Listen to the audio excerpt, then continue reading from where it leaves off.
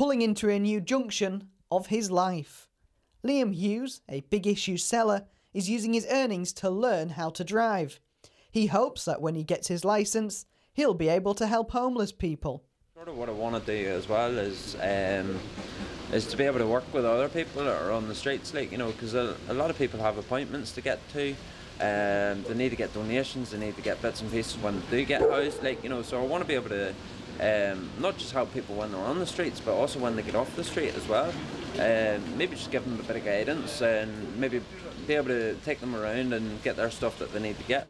Liam also feels that passing his test will help him get a job in the future. For myself as well, like you know, if, if someday I'm offered a job that requires a driving license, it's there as a qualification basically. Like so, I think it's quite important to get it done. I've tried a few times and just never been able to afford it. Um, but now, like my, my, sales have picked up, like you know, and I've spotted a chance where I have the money that I can afford to do it. Like so, I'm taking that chance now while I can. But in the long run, Liam wants to start his own business, employing homeless people. There's a lot of wasted talent here. Like you know, um, like I'm not the smartest cookie. Like I'm not gonna lie. Um, but I have I have business ideas. Like you know, and I can I can see people that can work and that want to work, you know, and I want to be able to direct them. Like, you know, if I can find the people that want wee jobs done, like, you know, whether it be gardens, whether it be set driveways or um, bit of power washing, cars washed or whatever, like, you know, we have people here that can do it. We have homeless people here on the street that have the skills and uh, they're basic skills. Do you know what I mean? And I want to be able to, if I, if I end up driving, like, you know, like, I would offer to drive these guys out to the locations that these jobs need to be done.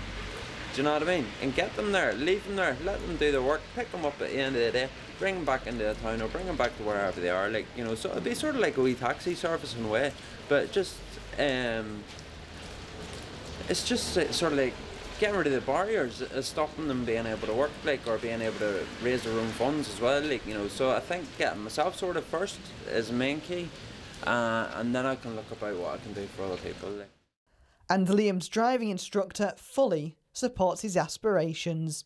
I'd say for um, most of the people that I teach, um, the majority of them choose learning to drive as part of progressing their life and making it better. Um, but one thing that's really stood out about Liam is his willingness to learn and his determination. Um, it really has been a pleasure to teach. With his theory test coming up soon, Liam hopes to remove his L plates in the not so distant future. Aaron Renfrey, That's TV.